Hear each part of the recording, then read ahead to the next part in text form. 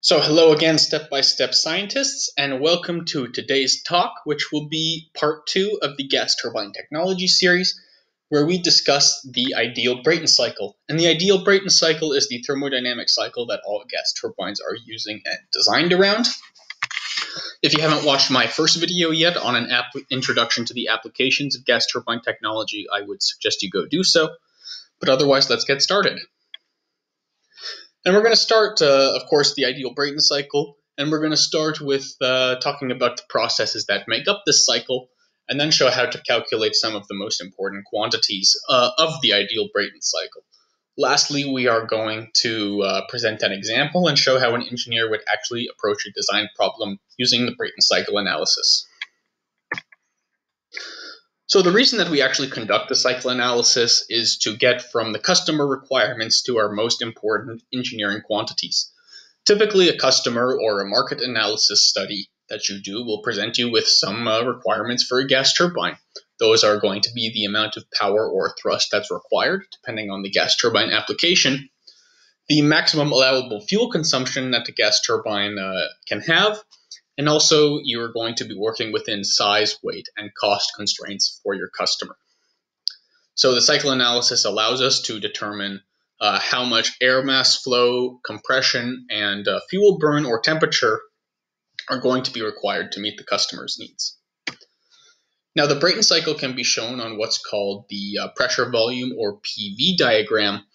And the first thing that you're going to notice is that this is an open cycle. So we're going to have air entering our system from the outside uh, environment and going through our thermodynamic uh, process stages of compression, combustion, uh, and expansion. And then we're going to take whatever energy is left in those gases and vent them out into the atmosphere where they're going to dissipate and become a part of the surrounding environment once again. So we move from point two to point three via an isentropic compression process. Uh, point two is at the beginning of the compressor and point three at the outlet of the compressor. And what this isentropic process means is that we're able to compress the gas without increasing its entropy at all. Entropy is a measure typically of the chaos or disorder of our system as it's described. And this is a little abstract, but uh, what it translates to practically is inefficiency. So if we move from one process from one point to another isentropically, we actually do so perfectly and without any uh, losses to the efficiency of our system. So when we compress the gas, we reduce its volume and increase its pressure. And then we're at point three, which is the outlet of the compressor and the inlet of the combustor. At this point, we're going to add fuel into our system and burn it to drastically increase the temperature. Uh, this is also going to increase the volume, as you see, but it happens uh, at a constant pressure, and we're moving across these dotted lines here that represent lines of constant temperature. So we're going from a fairly cool point to a much warmer point at point four. Once we reach point four, we've actually added all of the energy in our system that we're going to add. So we're ready to extract uh, work out of the system using our turbine for a productive process. And this is going to happen similar to the compression process. It's going to be an expansion process that ha happens isentropically and we're going to expand that gas and return it down to the uh, original pressure of our of our of our system, the same pressure that we had at point one, points one and two. But we're going to be at a slightly higher temperature, so we're going to reject that heat into the atmosphere by venting those gases out of our system, where they become a part of the surrounding environment once again. We can also show this process, uh, the Brayton cycle, on what's called the temperature entropy or TS diagram. And the TS diagram is a great way of visualizing not only the temperatures in our system, but also the inefficiencies uh, because it shows the entropy. So again, very similarly, we move from point 2 to point 3 via an isentropic compression process, which is just a vertical line. We move across these dotted lines of constant pressure, and we can see that the temperature is increasing, and this can be shown with the ideal gas relationship and there's another excellent video on step-by-step science that deals with the ideal uh, gas relationship. Once we add the fuel into our system and combust it, we drastically increase the entropy and temperature of our system, but we're moving along this dotted line here of, uh, of constant pressure up to 0.4, which is going to be the hottest temperature in our system. And then we're ready to expand those gases again, doing a lot of useful work in the process. So from 0.4 to 5, we uh, expand our gases back down to the ambient pressure, the temperature is going to reduce, but it's a vertical line, so we don't have any uh, additional entropy or additional losses. Uh, once we get to 0.5, then we've taken all the work out of our gases that we can. So we take whatever's left. You can see we're left with a higher temperature and a higher entropy than where we began. And this is always going to be the case. And we take whatever's left and we reject it into the atmosphere, uh, where it becomes a part of the surrounding environment once again. So that is uh, the processes that make up the Brayton cycle. And we now are going to be interested in calculating some of the most important properties. And one of the most important properties is the net work or the productive work that our system can do. You can see that for each process here, we're either taking energy in or rejecting energy out of our system. So we put work in to compress our gas, we put heat in to combust it, and then we take work out to expand it, and then whatever's left, we reject heat out of our system again. So this can be shown, it can be shown that if you sum up all of the energy movement that's happening in our system, you're going to be left with zero because energy via the first law of thermodynamics always has to be conserved. We're going to define that energy going into our system is positive and energy that comes out of our system is going to be negative. And this is the typical convention. So we we have work going from 2 to 3 and work going work work going into our system from 2 to 3 and work coming out of our system from 4 to 5. So if we sum these up, we're actually going to be left with the net work that we can use for a productive process in our system. Some of the work that comes out of the turbine has to go to driving the compressor, and whatever is left over is going to be used in a productive process. So the sum of these has to be equal to the sum of the heat addition and heat rejection process that our system is going through. So again, we add heat in from 3 to 4, and we take it out from 5 to 1.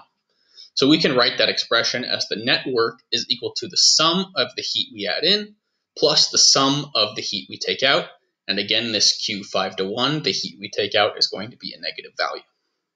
So how do we actually uh, represent these uh, heat addition processes using, uh, let's say, more useful uh, parameters? And the way that we can do that is expressing this heat as the difference in enthalpy between the two states through which we're adding our heat.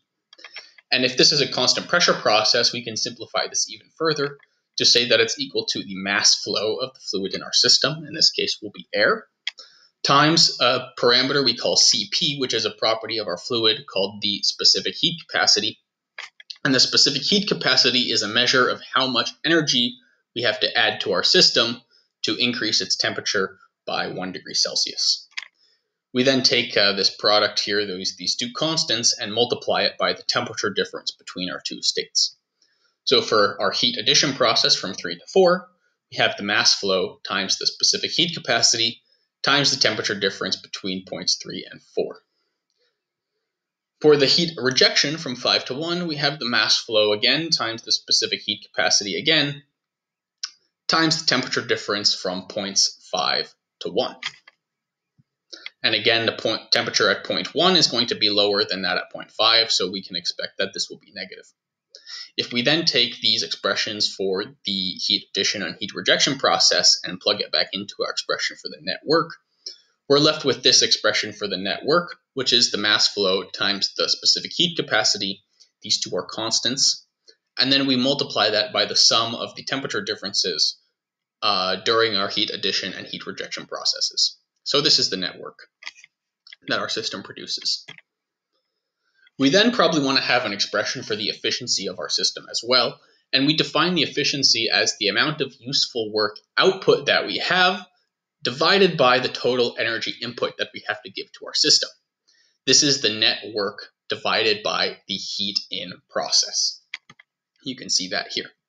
So we have already from the previous slides our expression for the net work, and we also have our expression for the heat in process, which is our Q from 3 to 4 here. That's the heat that we put in. So we can simply plug these uh, expressions in for a net work and heat into our efficiency, and we're left with this large looking expression here that is uh, these constants here multiplied by the sum of our temperature differences and our temperature difference for the heat addition process. One thing I'm going to note is that we can also express the amount of energy we put into our system in terms of the fuel flow that we have. Because if fuel is chemically homogeneous, we can actually express the heat in as the mass flow of our fuel times this parameter here called the lower heating value, which is the amount of energy that a certain mass of fuel can produce when it's burned. So it's thought of as the energy density of the fuel. So keep that in mind for some of the later slides. But we're going to take this uh, expression for efficiency now that we have using the temperatures, and we're going to simplify it. And the first thing that we can do to simplify this expression is cancel out this mass flow and Cp, because these are constants for our fluid and constants for our system.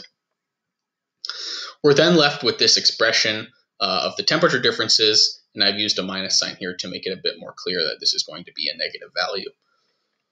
But we have a common denominator for these, and uh, what we're going to do then is uh, break up this expression using the common denominator, and we're left with 1 minus the temperature difference from our uh, heat rejection process divided by the temperature difference during our heat addition process.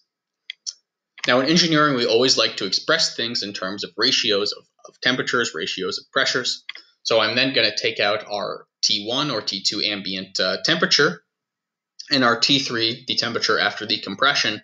And what we're left with is an expression uh, in terms of the temperature ratio during our compression process. And each of those temperatures is then multiplied by the temperature ratio during our heat addition or heat rejection process.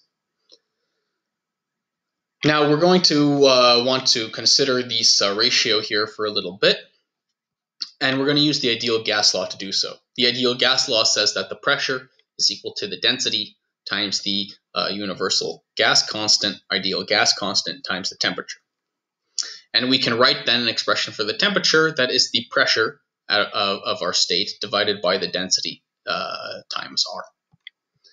So if we plug those in for our expressions T5 over T1 and T4 over T3, we're actually going to see that uh, the P5 and P1 are going to be equal because this is uh, pressure during our constant pressure, heat rejection, and heat addition processes. So we can actually cancel out uh, these expressions for the pressure here. And these R's are also going to be equal because it's a universal property of our fluid, so we can cancel that out as well. And what we're left with is simply a ratio of densities during our heat addition and heat rejection processes. Uh, what we're going to be able to say is that because our uh, compression and expansion processes are happening isentropically, and we return the fluid to the same pressure at which it began, we can actually write that these ratio of densities are actually going to be equal to each other. And when we're able to write that, we're able to then say that the ratio of temperatures is equal to each other. We can then cancel out these expressions because these terms uh, are simply uh, constants, and, uh, and that allows us to cancel it out. So we're left with a very simple expression for the efficiency. That's 1 minus the ambient temperature divided by the temperature after the compression process. Now what we then like to do is maybe express this uh, efficiency in terms of a pressure ratio as well. Pressure ratio, or the uh, ratio of, of the pressure at the end of the compression process divided by the beginning or the ambient pressure is one of the most important properties for our gas turbines. And if we're compressing or expanding something isentropically, we can actually use this expression here to relate our temperature and pressure ratios. Uh, that involves the use of this constant here, gamma, which is uh, related to our heat capacities, and for every fluid, that's a constant. So for air, it equals 1.4, provided that our air is an ideal gas. So we can take this expression for the temperatures and simply replace it with this expression of the pressure ratio to the power of our gamma, um, gamma expression here. And we can simply say that this P1 over P3 is actually 1 over the pressure ratio, because the pressure ratio we define as P3 divided by P1. So then we can write rewrite our expression in terms of uh, just a one parameter, the pressure ratio, and say that the efficiency is 1 minus 1 over the pressure ratio to the power of gamma minus 1 over gamma. So there we have an ex uh, expression for the efficiency in terms of temperatures, but also in terms of pressures, provided that our compression and expansion processes are isentropic. So let's talk about an example now. And we're going to start with an example that says a coastal power plant requires a gas turbine that will produce 10 megawatts of electricity and consume no more than 0.55 kilograms per second of diesel fuel. The customer is going to have a tight budget, so we're not allowed to use uh, uh, fancy materials, only conventional materials, and only conventional technologies. So we're going to answer the most important questions about the cycle. What combustion temperature are we going to use? What efficiency do we want the cycle to have? What is going to be the required pressure ratio for that efficiency? And what air mass flow is going to be needed for our system. We're going to assume that all our processes are perfect. That means the compression and expansion is isentropic, and the combustion will be isobaric, which is what the word that we use to express constant pressure. We're also going to assume that our air is an ideal gas and it's calorically perfect. So the first steps, uh, we know that if we're located on the seacoast, we're going to be at zero meters above sea level. And we can use the standard values for zero meters above sea level. That is to say, the ambient pressure will be 1.0135 bar, the temperature will be 288.15 Kelvin, and the density will be 1.225 kilograms per meter cubed. Then we know that we're only going to be using conventional materials. And by conventional materials, we're going to be using probably a stainless steel, uh, potentially uh, an Inconel, a nickel super alloy, and that's going to limit our maximum working temperature at the outlet of our combustor to 1000 degrees Celsius and we're actually going to choose a maximum temperature of 927 degrees Celsius or 1200 Kelvin.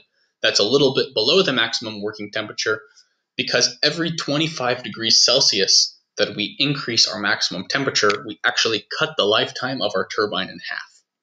And the turbine is one of the most expensive components in the engine, so we want it to have a long lifetime because we don't want to be replacing that component very often.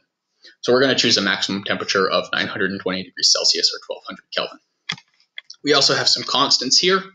Uh, we know that the specific heat capacity is 1005 joules per kilogram Kelvin. We know that gamma is going to be 1.4. And we know that the energy density or lower heating value of our diesel fuel is going to be 43.2 megajoules per kilogram. Then at the outlet of our combustor, we know that the maximum temperature is going to be 1200, but we don't know the pressure. And we also don't know what the mass flow of our system is. So uh, we've determined the maximum temperature, and now let's try and determine the efficiency, which is going to be the net work out divided by the fuel energy that we have to put in. We know that the net work out is uh, 10,000 watt, 10 million watts or 10 megawatts, and we can go back to this uh, slide here to show that the heat energy that we put in is equal to the mass flow of our fuel times our fuel energy density. You'll recall that we have to use 0.55 kilograms per second of fuel. And we know that the fuel energy density is 43.2 times 10 to the 6 joules per kilogram. When we combine all of that together, we get a efficiency of 42.09%, which is a fairly high efficiency for a gas turbine. We can then take that uh, efficiency that we calculated and use it in our expression for the pressure ratio. So we plug in 0.4209 for our uh, pressure ratio for our efficiency, excuse me, and rearrange to show that the reciprocal 1 over the pressure ratio uh, to, to the power of gamma minus 1 over gamma is equal to 0.5791. We then take the reciprocal, and by taking to the root of gamma minus 1 over gamma, we can show that the pressure ratio should be 6.766. So now we have a maximum working temperature of 1200 Kelvin, efficiency of 42.09%, and a pressure ratio of 6.766. So what we need now is the air mass flow. And the air mass flow, we're going to use the expression for the net work, which has air mass flow here, m dot. And we're going to show that that's equal, uh, uh, and we're going to show, uh, we, we know that the net work is 10, uh, 10 megawatts. We know what the specific heat capacity is. We know what our T4 is, our temperature at the outlet of our combustor and we know what our T1 or T2 is here, which is our ambient temperature. What we need to know is T3, uh, the temperature at the outlet of our compressor, and what we also need to know is T5, the temperature of, at the outlet of our turbine. But we know that these processes are isentropic, these compression and expansion processes, and we know that we have a relationship between a ratio of temperatures and our pressure ratio here, using again our gamma constant to relate the two for an isentropic process. So we can rewrite this as the T3, the temperature at the outlet of the compressor, equals T1 times the pressure ratio to the gamma minus 1 over gamma. And if we plug in what we know, T1 is the ambient temperature to 88.15, the pressure ratio of 6.766, and our gammas, we get a temperature at the outlet of our compressor of 497.64 Kelvin. Very similar thing with the T5. We know that uh, that uh, the pressure ratio is uh, going to be 6.766 again, and we know that our T4 is going to be 1200 Kelvin, but the temperature is going to reduce during our expansion process, so we're going to divide 1200 Kelvin by 6.766 to the power of 1.4 minus 1 over 1.4. And that's going to leave us with a turbine outlet temperature of 694.85 Kelvin. We now know these two temperatures, and we simply have to figure out the mass flow. So if we rearrange this expression to show that the mass flow m dot is equal to the net work divided by the specific heat capacity times the sum of the temperature differences, we plug in all of the parameters that we know. Um, then we come out with an air mass flow of 33.654 kilograms per second of air. So now we've calculated the most important properties for our gas turbine thermodynamic cycle, and we can present these to our customer and show that we're going to meet their requirements with a very simple, cost-effective, and productive gas turbine. So thank you very much uh, leave me a comment or a like in the comment section below. And let me know if you want to see another video about some of the more advanced things that we can do with gas turbine technology. Thank you.